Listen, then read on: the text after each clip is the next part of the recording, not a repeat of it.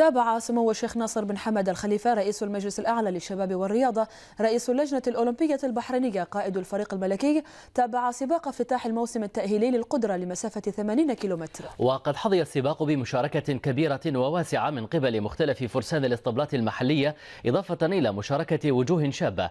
وبمناسبة انطلاق أولى سباقات الموسم المحلي للقدرة أكد سمو الشيخ ناصر بن حمد الخليفة أن سباق افتتاح الموسم جاء قويا في جميع مراحله وما زاد من قوته مشاركة نخبة من فرسان المملكة والذي ساهم في إعطاء السباق طابعا فنيا قويا خاصا بعد أن شهد منافسة عالية مشيرا إلى أن السباق كان قويا مع انطلاقته في المرحلة الأولى التي شهدت اندفاعا وسرعة من غالبية الفرسان الذين ساهموا في إشعال فتيل الإثارة للسباق وتهيئة الأجواء ليكون سريعا مع انطلاقته. وأعرب سموه عن سعادته بدخول العديد من الوجوه الشابة من الفرسان في السباقات وهو الأمر الذي يؤكد أن سباقات القدرة في المملكة قادرة على إنتاج فرسان سيتمكنون من مواصلة مسيرة التقدم لرياضة القدرة والتي حققت العديد من الإنجازات في السنوات الماضية. مشيرا إلى أن الاتحاد الملكي للفروسية وسباقات القدرة أعد ومن سنوات طويلة خطة لإدخال الوجوه الشابة في سباقات القدرة وهو الآن يجني ثمار هذه الخطة الطموحة.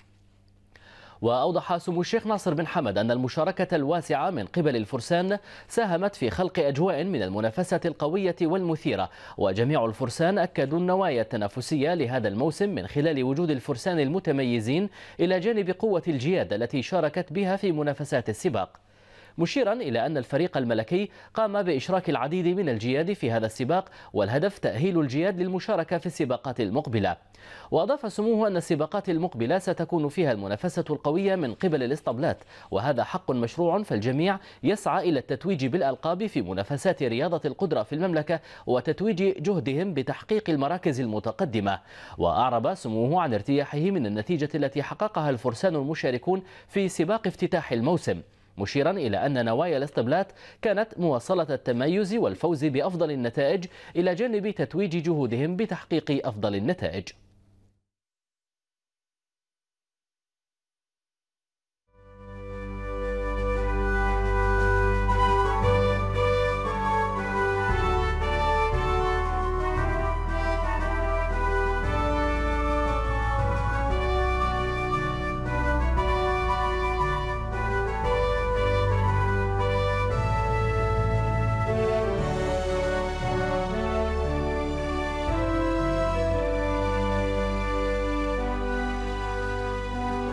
نتوقع منهم الكل زين إن شاء الله ونتوقع منهم آه، يعني أداء مميز هالموسم ومنافسة يعني آه، بين الفرسان والاسطبلات.